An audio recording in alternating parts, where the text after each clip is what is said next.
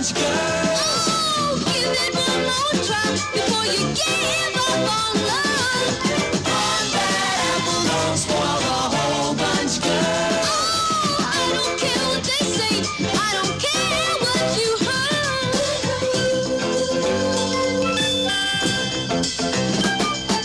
I could make you happy, baby. Welcome back to Saturday. And I'm Brian. This is Brian's Beat. Woohoo! You know, I got to tell you, I used to think that song was by the Jackson Five. I didn't like it, whether it was by the Jackson Five or the Osmonds. Then they both ended up with TV shows. Woo! At any rate, here we are. It looks like it's going to be a soggy Saturday. There is rain in the forecast. Hey, I, I, you kind of get used to it. I've been doing this show Saturday mornings since 2017. 2017. And we have had foul weather the majority of those days, especially during the summer. At any rate, welcome. Brian's Beat is the only show born at the apex of freedom, entrepreneurship, and nomadism. Let's see. Oh, uh, thank you, ABC, for letting us know what you want us to know. Now it's my turn. I'm going to tell you what I want you to know. The Red Sox scored a dozen runs last night. They beat the Orioles by two. What else? 130 shopping days before Christmas. And start counting your pennies. It's going to be one of those big government stories days. Baseball has double plays. Massachusetts has double the eviction notices on folks in shelters. Mayor Mitchell wants more accessory dwelling units in New Bedford. Certainly wants to make it easier. Speaking of more, more debris from wind turbines washing ashore in Westport. From the I need work economy, economic complications convinced the great owners of Doco New Bedford to hang the closed for good sign. The survey says more than half never intend to fully buy an electric vehicle. I think that should read to buy a fully electric vehicle. While Israeli soldiers gloat over sexually assaulting Palestinians, their government debates if torture is okay. Goodbye, Steward Health. Hello, higher taxes. More after the Brian's Beat quote of the day. Jim is in studio six and seven eighths. He's got our Town Square Sunday preview, the Bitcoin Biz Barometer next half hour. Monthly Fee RX brings us the Brian's Beat quote of the day after we learn a little bit more about today, a very historic day. August 20, no, it isn't. It's August 17th, 2024. Why is it historic? It's Baby Boomer Recognition Day.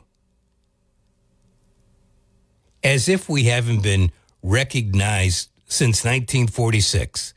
Today is our day. Today is our day. What's going to happen two years from now? It's going to be baby boomer recognition year because starting with January 1st, 2026, that would be, hmm, 80 years of baby boomerism. It's also Chef's Appreciation Day. I appreciate a good chef, that's for sure. Clear the Shelters Day. As I mentioned earlier, eviction notices have gone out to the folks living in shelters. I believe the Clear the Shelters Day is about something entirely different because it is also Homeless Animals Day. And I think clearing the shelter, in fact, this is Clear the Shelter month. as far as getting the dogs and the cats out of those institutions. It's also, and you got to laugh at this one. It's it's the meaning of is day. The meaning of is day. oh yeah. National number 2 pencil day. National Black Cat Appreciation Day. I guess um, uh, I, I Black Cats number 13. I can do without both. Honeybee Day. I love my feet day. And I certainly do, don't you? I certainly would feel lost without my feet. National Nonprofit Day. Thrift Shop Day. And it's also Vanilla Custard Day. Hmm. 1907. Pike's Place Market in Seattle opened for fish catching. I don't know if you've ever been there. I went to the market a couple of times in my in my days of living and working in Seattle. And they've got these fish folks. And somebody, let's say they want half a salmon.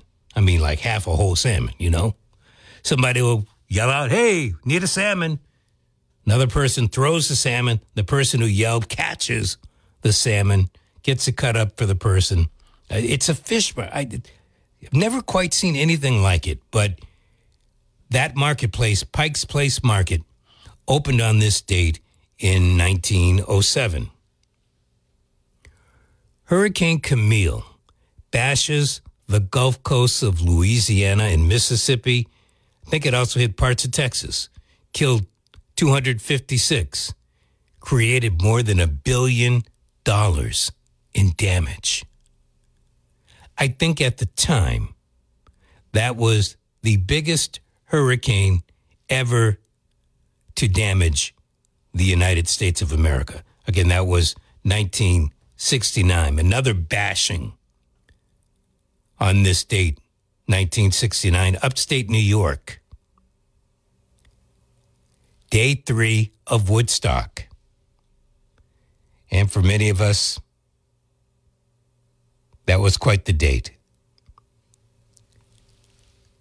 Day three featured Joe Cocker, Crosby, Stills, Nash and Young, Blood, Sweat, and Tears, Country Joe and the Fish. Give me an F. Give me a U. Give me a C. Yeah, yeah, Country Joe got a got a little carried away, but the Fish Cheer was born on that date, or at least to the best of our knowledge, that's when we heard it on this date, August seventeenth, nineteen sixty nine. and uh, I talked about it briefly. Now I'm going to get a little bit more into it. He was president. She was an intern. William Jefferson Clinton admitted he admitted he lied while revealing he had an improper wing wang with that woman, Monica Lewinsky. He was testifying. He, he- some of us saw this, and if you didn't see it, you probably saw it in the news. He tried to give uh, some wiggle around about is and he he came up with this this slogan. I guess that depends on what the meaning of is is. Do you remember that? President of the United States. So if you wonder how we're in the situation that we're in, whether you support Trump, whether you support Biden, whether you supported Obama, all the others, remember that remember we had a president and and this was 1998 when all of this came out and he had been president for several years by that time That depends on what the meaning of is is. Whew. Wow. That's the kind of stuff that we lived through. Monthly Fee RX brings us the Brian's Beat quote of the day. If you're spending less than $20 a month for prescription drugs, great. If not, then our monthly fee RX service might be a good option for you. Check for yourself at monthlyfeerx.com. And the Brian's Beat quote of the day from Babe Ruth. Never let the fear of striking out get in your way. Never let the fear of striking out get in your way. Now, for most of us, Babe Ruth, he was the Sultan of SWAT. He was the home run champ. I forgot how many he hit, but he held the record. And then Hank Aaron broke that record. But here's a record that, to the best of my knowledge, has not been broken that Babe Ruth set. Babe Ruth held or still holds the record for striking out the most of any Major League Baseball player. So when he says never let the fear of striking out get in your way, he knows what he's talking about. 508 996 0500 is how you get onto the program today. Jim. Jim is going to tell us what's going on on Town Square Sunday eh, and a bit. And next half hour, I've got the Brian's B quote of the day. And we got we've got a lot of stuff, just a, a, a ton of stuff to present. So what I'm going to do now is I'm going to take a brief break. And when we come back, we'll start letting it all hang out.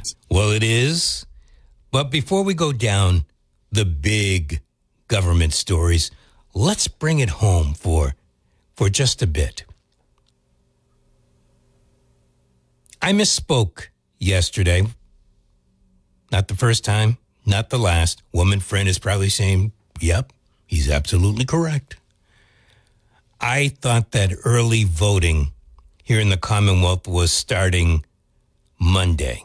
It doesn't start until next Saturday, Saturday the 24th. It goes from Saturday the 24th to um, Friday, August 30th, and then we go into the Labor Day weekend and it will cease. And then I think the primary election day is the following Tuesday. So there's still time to uh, get your paperwork in if you prefer to vote early. I will be one of those. I will vote early and only once, as opposed to folks in Chicago who like to vote early and often. Primary election day. Okay. So we got that out of the way. Frederick Douglass. There's a, a bust of Frederick Douglass, a young Frederick Douglass at Abolition Row Park in New Bedford. I drive by that bust, hmm, oh, once every other week, sometimes twice in a week. I'm looking to see how many folks are coming out to look.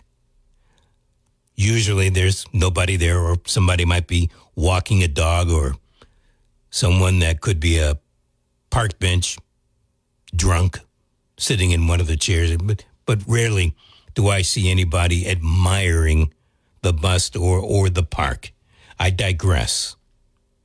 I do want to let it be known that as much as I admire Frederick Douglass, I never met Frederick Douglass. Frederick Douglass never met Rosa Parks. Yours truly not only interviewed Rosa Parks, but spent a couple of hours with Ms. Parks back in the 1990s. Why am I bringing her up? She was a freedom fighter. I think many people, if, if you know the name, you know what she did. She started the bus boycott in Montgomery, Alabama, 1955, I believe was the year. I bring her into this conversation because there is a protest planned for today up at the Boston Common. And the woman planning this protest likes what she's doing, what she is protesting for, similar to what Rosa Parks did back in the 1950s. The woman's name is Katrina Breeze. Katrina Breeze. She is the founder of the group Equality. I did not misspeak. And she plans on leading this protest on the Common today, weather permitting, I guess. I don't know.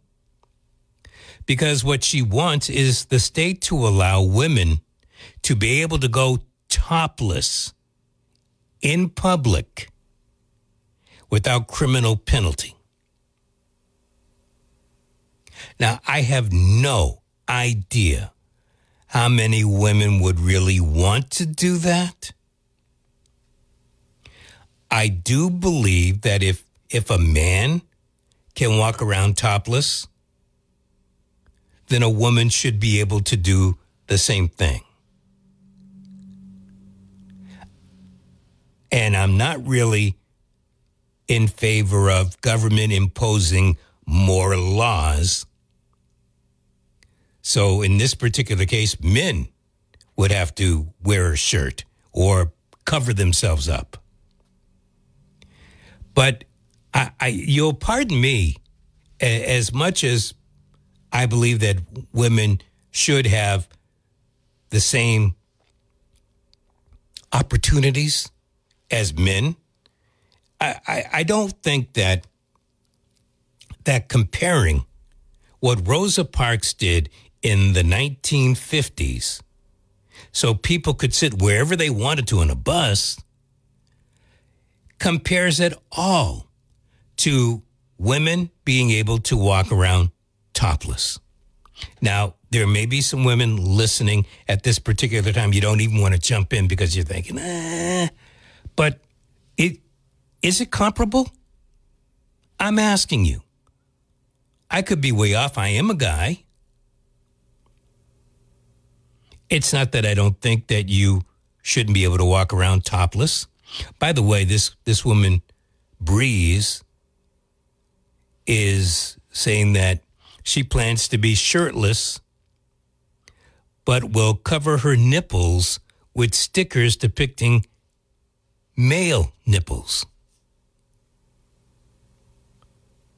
Huh.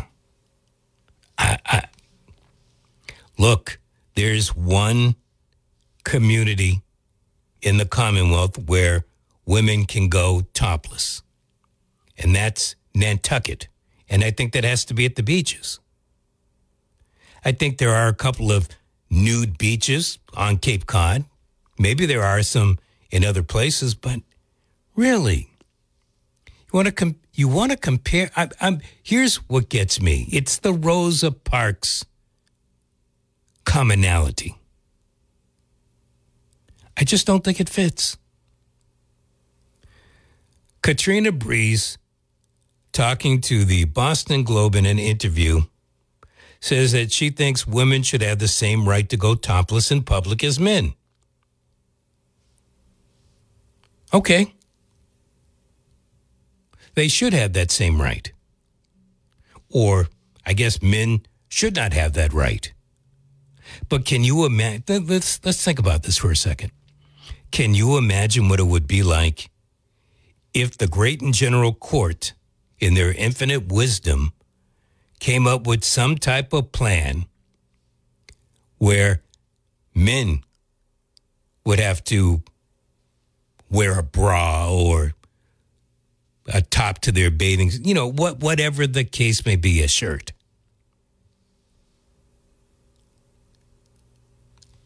Well, I guess it's possible. The other side, I don't think that I don't think that the legislature is going to approve women being able to be topless. And I think that there are plenty of women in the great and general court that would be for it. But I think that the men, as much as they would like to look, and I certainly would look, I don't think that they're going to vote it in because they're going to believe that it will cause too much of a problem. Can you imagine? Now, think about this for a second. You're driving your car down the street and you see topless women. Can you see the potential for an accident? And what are you going to say to the judge in the courtroom? Well, there were these women, they didn't have any tops on, and I just kind of looked. And I took my eyes off the road. All of a sudden, we're going to have new meaning to distracted drivers. Oof. So I, you know what, Ms. Breeze, Mrs. Breeze, whatever, however you want to call yourself, I think, I think that you are correct that there is a discrimination that's going on with this. I don't like that you are comparing what you're doing to what Rosa Parks did. She was thrown in jail because she wouldn't give up her seat on a bus. Even you, you know what the law is, and you're covering up your your nipples. Maybe if you weren't covering up your nipples and were willing to be thrown by, you know, behind bars and would stay there for a given period of time until somebody could bail you out, maybe you have a, a, a better chance at, at at your point. I don't think you do. I think that you I you know, throw out the Rosa Parks thing. That's that's what it is. Go out there and fight because you are a woman and you believe that you deserve this right to be topless. You're tired of seeing men being able to do it, and we can't do it. But don't compare yourself to Rosa Parks. To me, that is a slap in Ms. Parks' face. All right, let's go over to Studio 6 and 7 eighths. That's where Jim is. And Jim has our Town Square Sunday preview. Good morning, Brian. Good morning, everyone. Here's what's happening this week on Town Square Sunday. If you're a lover of the performing arts, it's an exciting time to be in New Bedford. While the Zeiterion Theater is closed for renovations, groups like the Festival Theater, Steeple Playhouse, and Your Theater Incorporated are going strong. Community liaison Eric Paradise joins us Sunday morning to preview the 24 25 season of productions for your theater and also the Steeple Playhouse. And we'll tell you how one community nonprofit, the Tyler Joseph Leonard Foundation, is working to prevent suicide in our region and how you can help by attending a fundraiser on September 7th. I'm Jim Phillips. Join us for Town Square Sunday, Sunday morning at 6 and 11 on 1420 WBSM and 99.5 FM.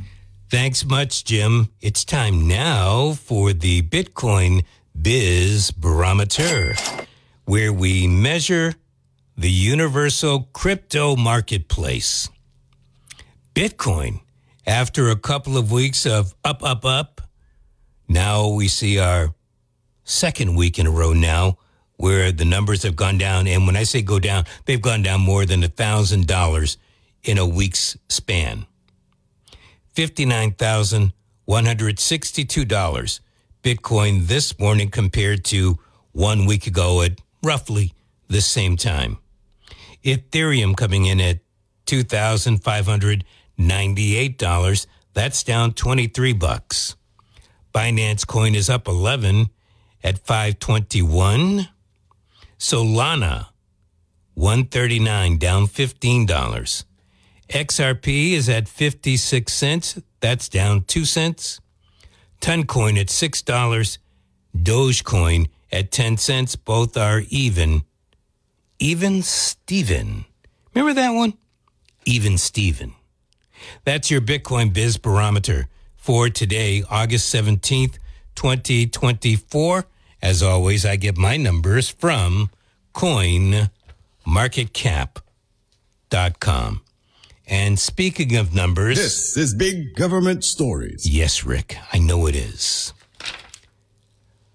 I mean, there there are so many. I've got tons of big government stories. I mentioned earlier, going to bring it back up right now.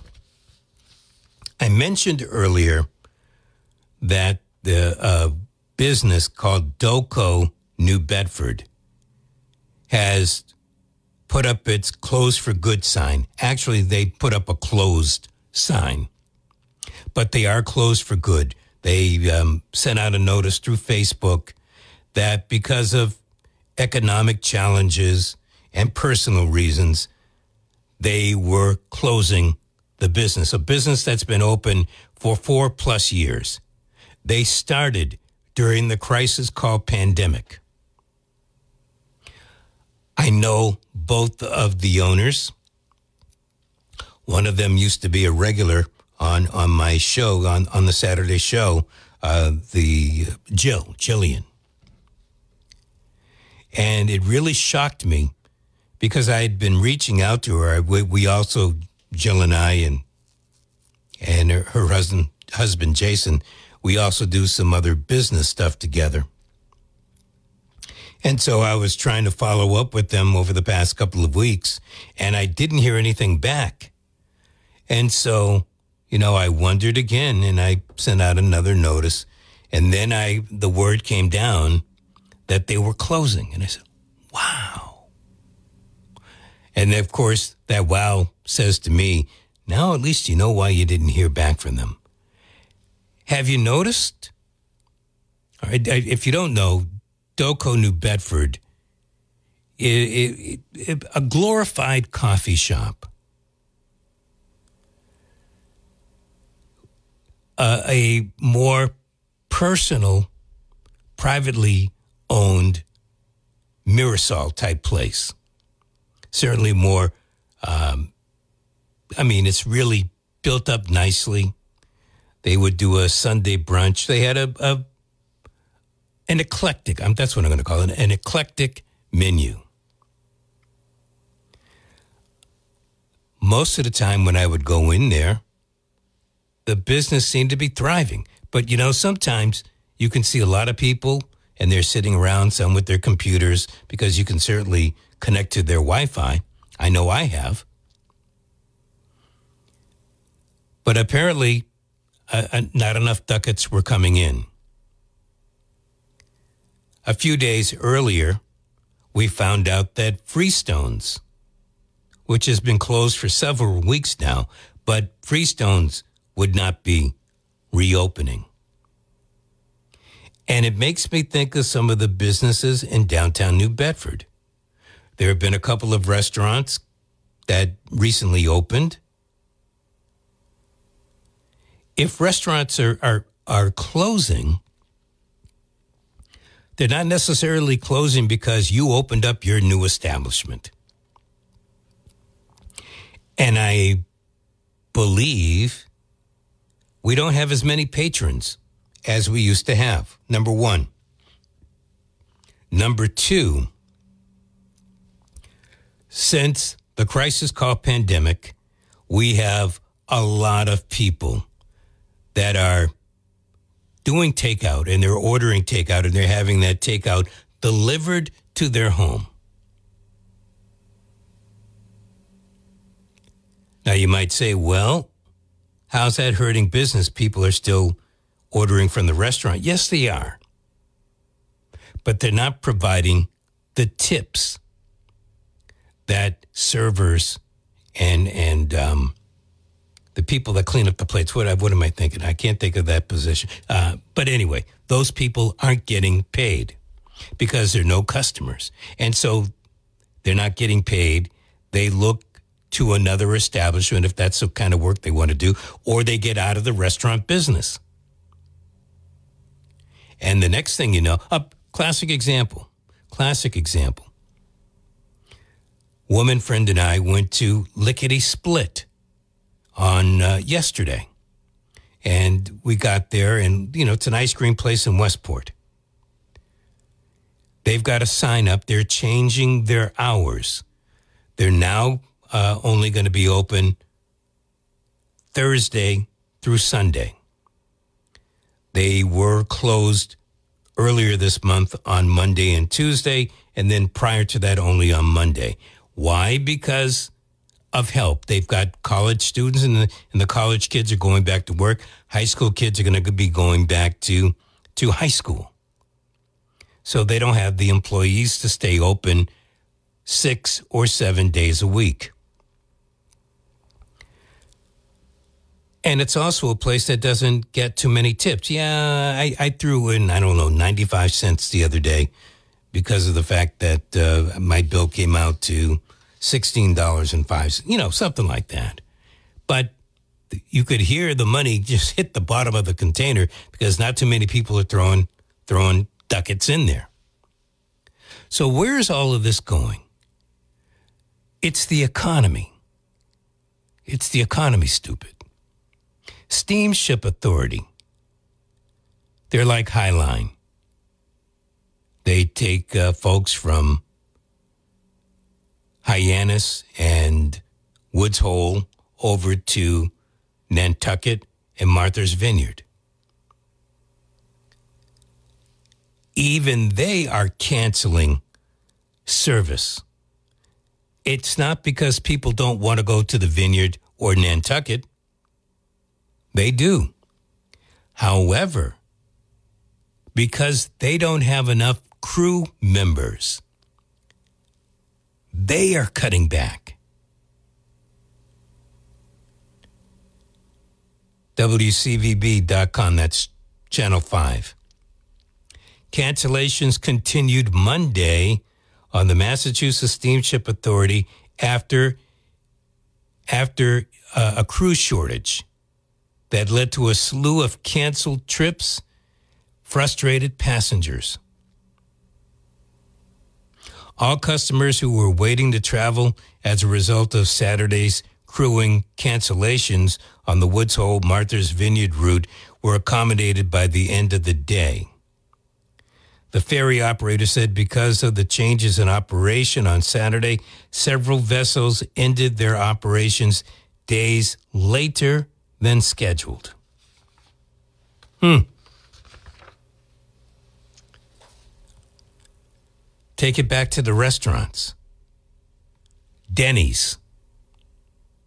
Now you might be saying there's no Denny's around here. No, but there's a Denny's in Fall River. Denny's is having one of those conference, you know, like a Zoom meeting with 19,000 of their shops. Sales are down. Why do you think that is? People not coming through the door. They don't come through the door. Folks don't buy the food. Denny's has already closed a few of their places. I have no idea if the one in Fall River is going to close. But Denny's, I mean, they've been around all of my life. Denny's. Uh, what's the one that woman friend and I were looking at? Um, another almost, almost like fast food. But even, oh, Subway, Subway. One of the largest franchise sandwich shops in the world. Never mind the country, in the world. They are closing sandwich shops. Guess people don't like the Subway subs anymore. What is going on? All right. So, have you heard about this? The Healey administration has decided that it's time to make some changes when it comes to migrants and other folks staying in emergency or overflow shelters. And so, starting at the beginning of the month, notices for eviction were, were issued. The first set of notices went out last week. More went out the following week. And according to the Commonwealth, the number of eviction notices climbed at the overflow shelters from 57 to 128. Now, I'm like a lot of folks, and I don't believe that the yous and me's, the taxpayers, should be paying for it. But I have that looming question in my head, and that is you put the folks up for a period of time. Now what? You going to let them flounder in the street? How do we change the policy? Well, you would hope that Beacon Hill lawmakers would change the policy, but they're sitting on their hands. They're not changing the policy. And so, the way I look at it is that whether or not you have an open border, you certainly have an open invitation for people to seek out Massachusetts, whether whether they're coming across the international border or crossing a state border to come to Massachusetts to find some type of accommodation. I got this one from the Boston Globe. I have a dream to go to Boston. For Haitians waiting at the border, Massachusetts remains a top destination. Huh. This guy's name is Stanley. 100 degree heat. He's wiping sweat from his face. Said he would like his family to make it to the United States. He has a dream to go to Boston. He's 16 years old. My aunt would, would tell me how the snow falls when it's cold. I'd like to see it. Really, Stanley? Hmm. So, there are people still waiting to come. While many of our friends and neighbors were trying to figure out how to pay for groceries and, and other bills, Beacon Hill agencies, not the lawmakers, but the agencies, loaded millions, millions of our tax dollars onto debit cards to pay for hotels and catering services for folks involved in the emergency shelter system. Now imagine that. Oh, and Governor Healey? She's okay with it. Even on the trips that she took over to Europe, staying at four and five star hotels. She doesn't give a hoot. I was going to say something else.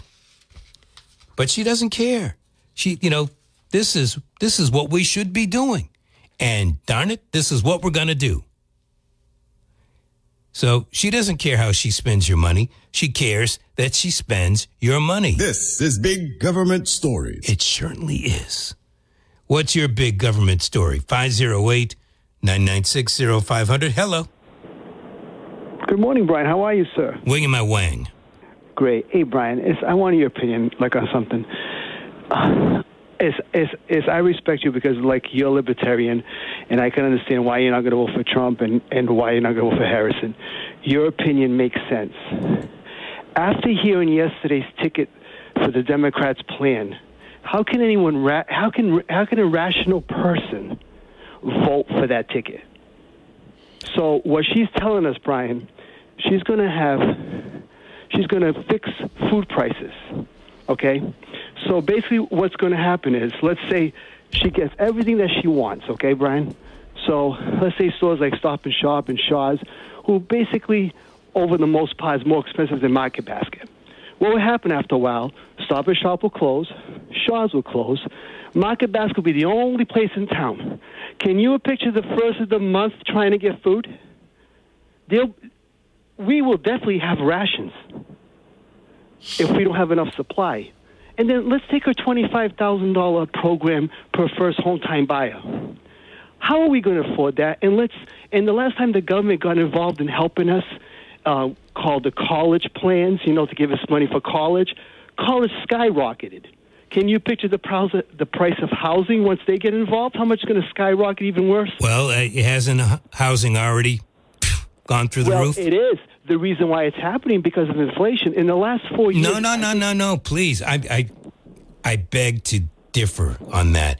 The reason why it's happening is because the government, the federal government, has gotten involved with the loan program. Yes, that Okay. also, and also, also inflation. Also, in the last four years, Brian, I think you know, eighty percent of all our money in circulation has been printed in the last four years, Brian. Mm-hmm. That's the problem. And on top of that, we got the back door in the southern border wide open. So they tell us that we that we don't have enough housing, and they're letting millions of people a year come in. So they're causing the problem, and, and then what's their solution? It's like our state, let's build little 900 square feet homes in people's backyards. How now? What happens if you start building those things? People start renting them out as A, B, and Bs or or short-term rentals. How about the quality of life of people who live next door? Is, can you picture you picture a city like New Bedford, which I used to live in, that they're very close to one another. Even in the West End, like where I lived, I had a little bit of a yard, but not much. Now someone puts a 900 foot little house right against my fence. What kind of quality of life is this person in the city going to have in their backyard, have cookouts and everything else, with people literally living on top of you, as bad as it is? And how about the suburbs? It's going to ruin the suburbs. Because if you get somebody who has a good piece of land who decides to put maybe two of those houses in there and make them Airbnbs, I think you make great points. right? Um, uh, but even before we go down that road, my major problem is is you've got the federal government interfering with what might be a states' rights type of issue. I agree. Uh, I maybe agree not with 100%. groceries because that that could be interstate commerce, but certainly with housing, I and agree. certainly with education. yes. So you you asked the question, what person in their right mind? Yes. I, and I think we had this conversation before about people act on emotion. They Oh, don't God, act. They, they don't sit there and and try to rationalize things. They're thinking, "Wow, I've got all these bills, and I've got somebody out there who's going to take care of these bills." What I I I will commend Kamala Harris for one thing. She has some balls to come up with an agenda like this and to announce it. I mean, I I disagree with all of it. But what she, she has done, is she is now putting that that wedge in there. Either you're going to support Donald Trump or you're going to support me. And now this is where I, I'm. I'm. going I told this to Barry. I said she will win the popular vote. She may not get the electoral college vote, but she will win the popular vote And you know because she she- is reaching to. She's mm-hmm. hitting that emotional chord. And do you know why she's going to get probably the popular vote?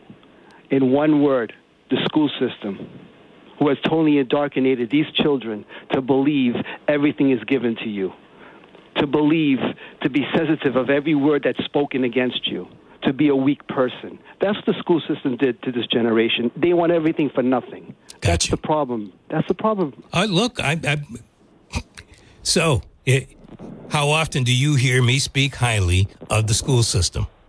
Oh, I know, Brian. Listen, I'm paying out of my pocket, and it was money well well invested. And, and I tell everybody now who have children, who are planning on having children, one thing you have to calculate is private education because public education is not an option anymore. Gotcha, man. Take care, Brian. Thank you. I appreciate the call. 508 996 0500. Vice President Kamala Harris, North Carolina, yesterday, she unveiled this economic agenda Unbelievable. I was going to wait until next hour, but since the caller brought it up, hey, as president, this is what she stated. As president, I will be laser focused on creating opportunities for the middle class that advance their economic security, stability, and dignity. Really? This might be a little offshoot. I tell people to seek opportunities, not security, because if you're out looking for security and you you don't get the opportunity, then you're going to end up failing at both. Lots of big government stories, and certainly the vice president who wants to be president came out with a bold, bold and moldy economic agenda. Phew. Let's see. I, and give me give me your thoughts on this. She wants to expand. I didn't really know we had a had a program, but expand